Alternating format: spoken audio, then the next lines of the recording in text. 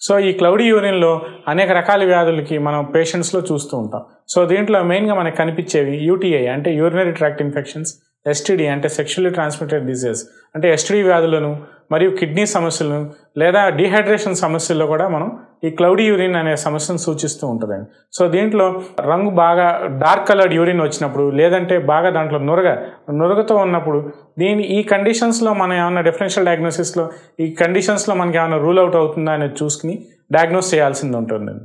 అంతేకాకుండా మనం కొన్ని అంతర్లీనంగా అంటే కొన్ని ఇంటర్నల్ ప్రాబ్లమ్స్ కూడా దీన్ని మనం బహిర్గతం చేయడం జరుగుతుంటుందండి సో దీంట్లో కొన్ని ప్రత్యేక పరిస్థితులు అంటే రెగ్యులర్గా మనం ఈ కిడ్నీ ప్రాబ్లమ్స్ కానీ లేదంటే డిహైడ్రేషన్ ప్రాబ్లమ్స్లో కానీ లేదంటే సెక్షువల్లీ ట్రాన్స్మిట్ డిసీజెసే కాకుండా కొన్ని క్యాన్సర్ వంటి పరిస్థితుల్లో కూడా అంటే క్యాన్సర్తో సఫర్ అయ్యే పేషెంట్స్లో కూడా ఈ క్లౌడీ యూరిన్ సమస్య అనేది మనం డయాగ్నోస్ చేయడం జరుగుతూ ఉంటుంది సో దీంట్లో ఈ క్యాన్సర్ ప్రాబ్లమ్సే కాకుండా అడిషనల్గా మనకి వెజనల్ డిశ్చార్జెస్ అంటే ఆడవారిలో వెజనల్ డిశ్చార్జెస్ కానీ లేదంటే వాల్వో వెజనైటిస్ అనే ప్రాబ్లంలో కానీ మళ్ళీ పురుషుల్లో ప్రాస్టేట్ సంబంధించిన ప్రాబ్లమ్స్లో కానీ అంటే ప్రాస్టేటైటిస్ అని కానీ లేదంటే క్రానిక్ డయాబెటీస్ అంటే బాగా ఒక టెన్ టు ఫిఫ్టీన్ ఇయర్స్లో క్రానిక్గా డయాబెటీస్తో సఫర్ అవుతున్న పేషెంట్స్లో కానీ కిడ్నీలో స్టోన్స్ అంటే రినల్ క్యాలిక్యులై uh, ఉన్న పేషెంట్స్లో కూడా మనకి క్లౌడీ యూరిన్ అనే ప్రాబ్లం uh, కనిపిస్తూ ఉంటుందండి.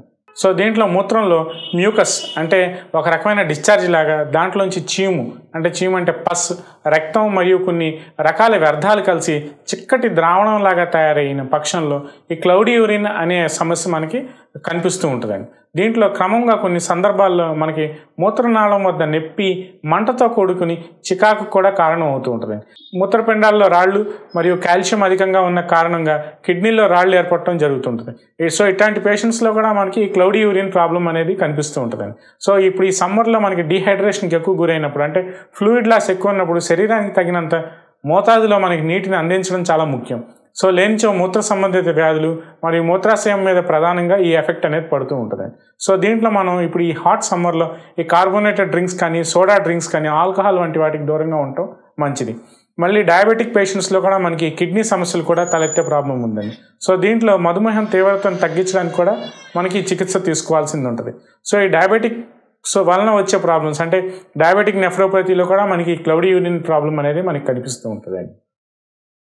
ఈ మనం ఈ హోమియోపతిలో ఈ క్లౌడీ యూరిన్ అనే సమస్య కూడా చాలా అద్భుతమైన హోమియోపతిక్ రెమెడీస్ ఉన్నాయి సో దీంతో ఈ క్లౌడీ యూరిన్నే నయం చే నయం చేయడంతో పాటు ఏదైతే అసోసియేటెడ్ ప్రాబ్లమ్స్ జనరల్గా ఆడవాళ్ళు అయితే వల్వ వెజానిటీస్ అని లేదంటే ఏదైనా సర్వీక్స్ దగ్గర ఏమైనా ప్రాబ్లమ్స్ రావటం లేదంటే మన మేల్ ఏజ్ పేషెంట్స్లో అయితే ప్రాస్టెట్ గ్లాండ్ అంటే వాపు రావటం ప్రాస్టెటైటిస్ అట్లాంటివి రావటం లేదంటే సెక్షువల్లీ ట్రాన్స్మిటెడ్ డిసీజెస్ అంటే సెక్షువల్ ఎక్స్పోజర్ ఏమన్నా ఎక్స్పోజ్ అయ్యి దాంతోపాటు ఈ ఇన్ఫెక్షన్స్ రావటం.